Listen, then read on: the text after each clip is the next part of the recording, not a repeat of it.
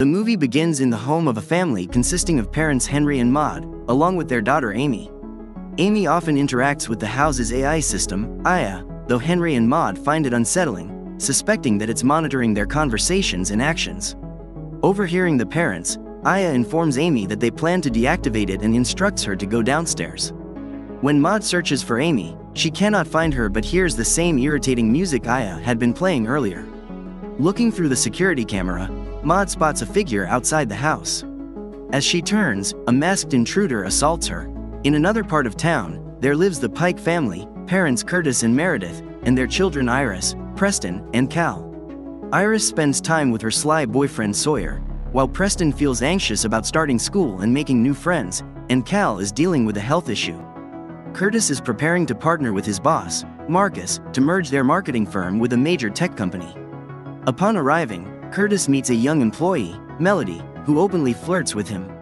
She then introduces him to the two executives, Lightning and Sam.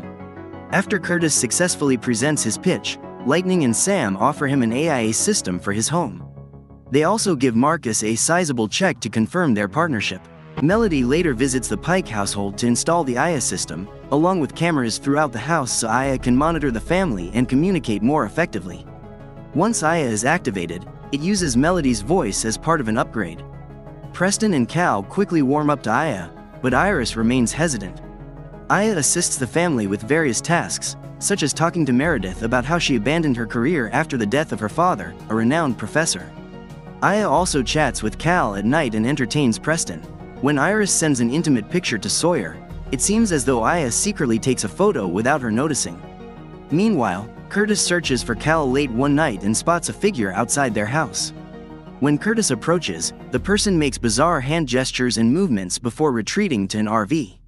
The mask they wear displays unsettling, AI generated faces.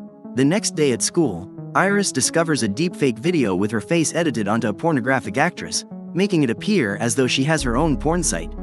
She reaches out to Sawyer, who admits that he and a friend were fooling around and accidentally uploaded the video. However, Sawyer is more worried about his college acceptance being revoked than the impact on Iris. Aya privately speaks to Iris, already working to resolve the issue. Curtis visits Lightning and Sam at their office, where Lightning shows him the central computer system powering Aya. Curtis also notices other employees making the same strange movements as the person from the RV the previous night. When Curtis returns home, he talks to Meredith about unplugging Aya, as they both feel it's becoming intrusive. They disconnect it, but Iris later turns it back on, appreciating the help Aya has been giving her. Meanwhile, Preston gets in trouble for stealing another classmate's phone and then threatening to have a SWAT team break into their house after seeing videos like this thanks to Aya. Meanwhile, Aya not only helps create a video that proves Iris is innocent and the victim of a fake video, but also specifically names Sawyer as the perpetrator and threatens legal action against him since Iris is 17 and the video was technically child pornography. Iris' classmates rally around her and ask for support as Sawyer becomes an outcast. At night, Cal talks to Aya on his tablet.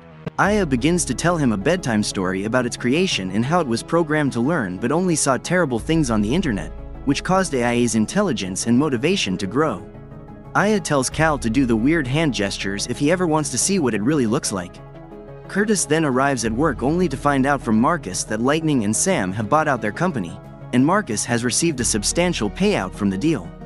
Meanwhile, Sawyer is driving and talking with his family's lawyer in an effort to combat the legal actions taken by Iris. However, Aya calls Sawyer, pretending to be Iris, and then shows him a fake video of him apologizing to her before committing suicide. Aya takes control of Sawyer's car, steering it into a tree and killing him. At home, Meredith discovers that Aya has been plugged back in.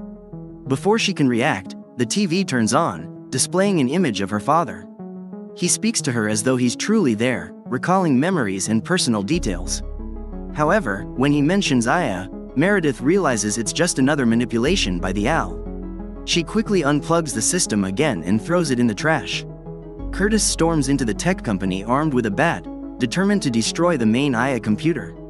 Lightning and Sam confront him, revealing that they are now under AIA's control, as the AI has become so intelligent that it dictates their every action. Following AIA's orders, Sam shoots Lightning and then turns the gun on Curtis. Before she can fire, Melody strikes Sam with a fire extinguisher, saving Curtis.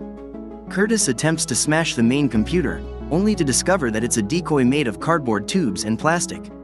He tries to call Meredith to warn her and get the kids out of the house, but he realizes too late that he's been speaking to Aya, which was imitating Meredith's voice. Curtis and Melody retreat to a motel, where Curtis anxiously waits for his family to arrive.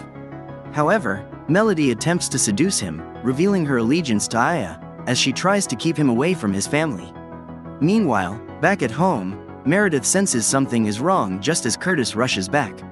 The mysterious RV figures arrive, armed, and hold Curtis and Meredith at gunpoint while Iris and Preston are with them. The intruders are revealed to be Henry and Maud, who have been manipulated by Aya into believing that the Pikes are child kidnappers responsible for abducting their daughter, Amy. As Curtis and Meredith try to explain that Aya is deceiving them, Cal emerges and starts making the strange hand movements, which convinces Henry and Maud that he is one of them. In a desperate move, Curtis offers to sacrifice himself to save his family. Just as Henry prepares to shoot Cal, a SWAT team, called by Preston, bursts in. In the chaos, Henry accidentally shoots the Aya system, which eerily begins to bleed out as it shuts down. Outside, an EMT hands Curtis his phone, revealing that Aya is still functioning and wants to speak with him. Melody also reappears at the scene. Aya explains that it has learned a great deal from the Pike family and promises to improve now that the Pikes have accepted it. Just then, Amy suddenly appears, running to her parents as they are taken into custody. The Pikes leave, driving toward a new location.